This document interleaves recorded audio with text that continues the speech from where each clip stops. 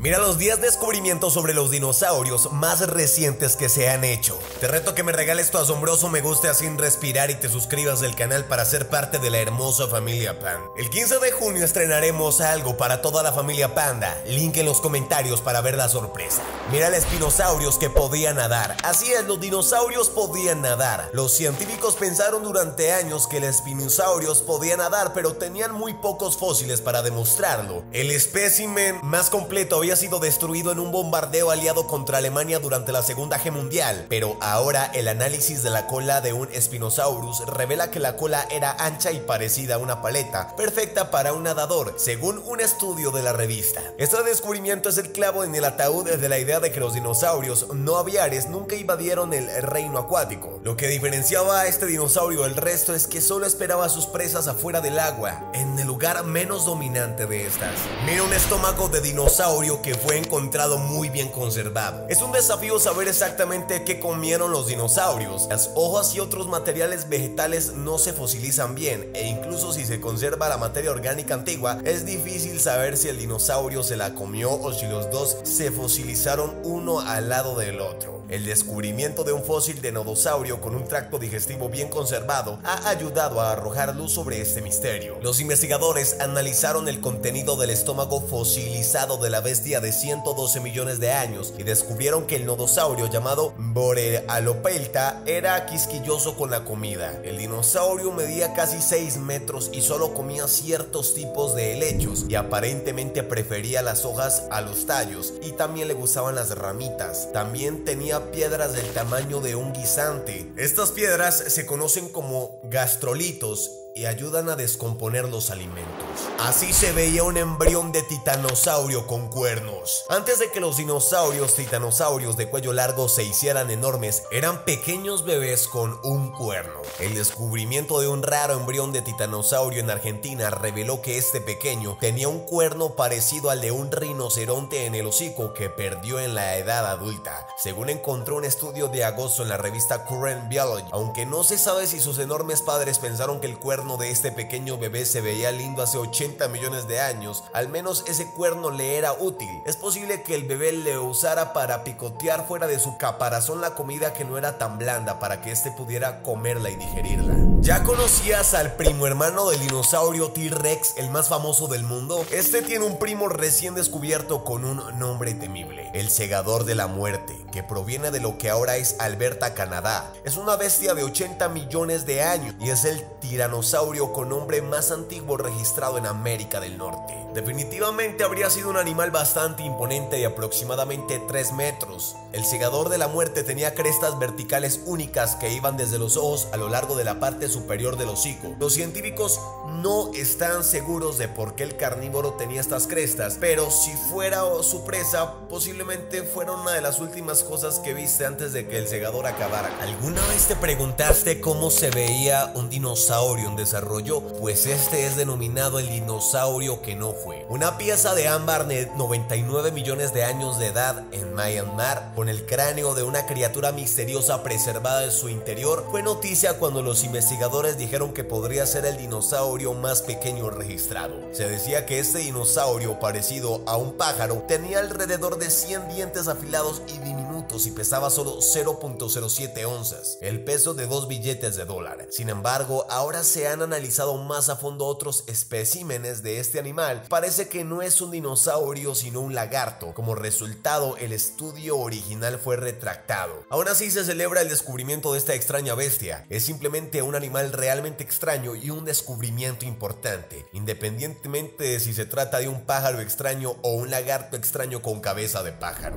Mira unos dinosaurios en duelo vendidos al museo. Dos famosos fósiles de dinosaurios finalmente están siendo estudiados por científicos, los llamados dinosaurios en duelo, que pueden o no haber estado en duelo en el momento de su muerte, ya valen 6 millones de dólares y puede que se estén cotizando. Increíble nada más esta obra de arte tan preciosa y hermosa.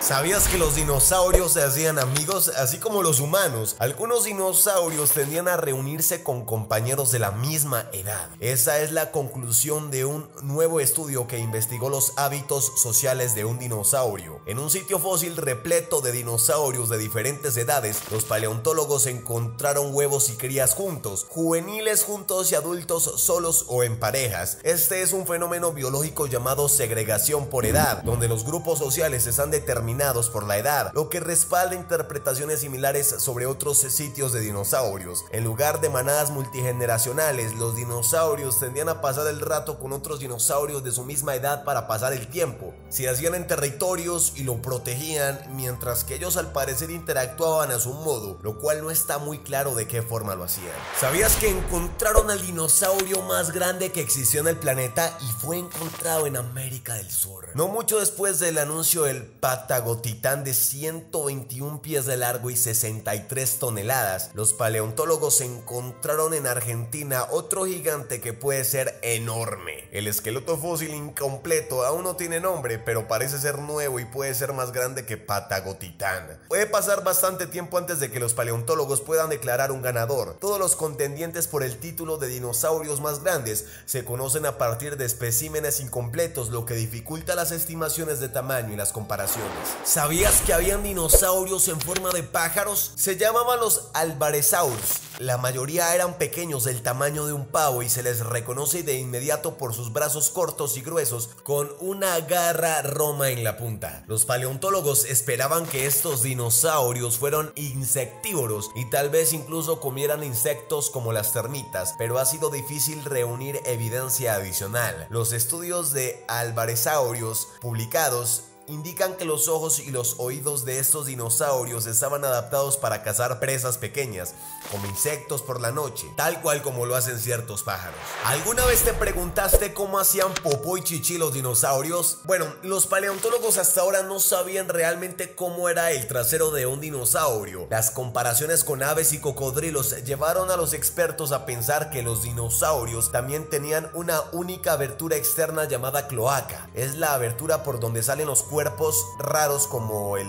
popó y el chichi. Pero un estudio publicado este año ha ofrecido a los expertos su primera mirada detallada a la cloaca de un dinosaurio y su parecido con la misma disposición en los cocodrilos. Sin embargo, este es solo el primer descubrimiento de este tipo entre cientos de especies, lo que significa que la discusión sobre las nalgas de los dinosaurios tendrá una cola larga. Si entendieron el chiste, cola, nalga, bueno, me voy. Y bueno, así es como se ven las heces de los dinosaurios. Se encontró esto y parece más bien una piedra que otra cosa, pero después de exámenes de laboratorio así es como se ve, está completamente fosilizado, entonces se ve enorme y durísimo. Es imposible de que sea como el de nosotros, que es blanco.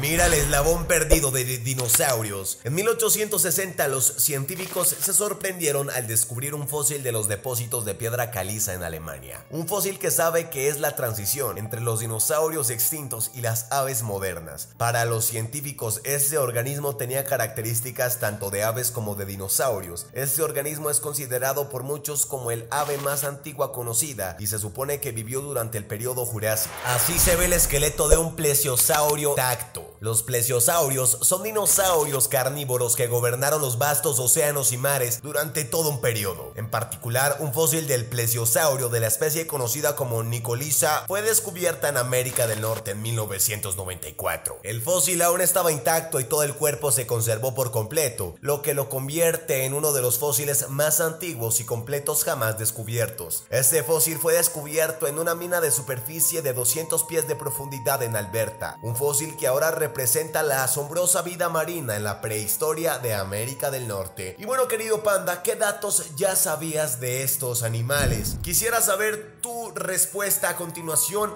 para poder saber cómo está mi público en este ámbito de dinosaurios. Si les ha gustado el video me pueden regalar su asombroso me gusta sin respirar. Suscríbanse al canal que yo he sido su querido hermano menor panda. Besos y nos vemos en una próxima ocasión. Chao.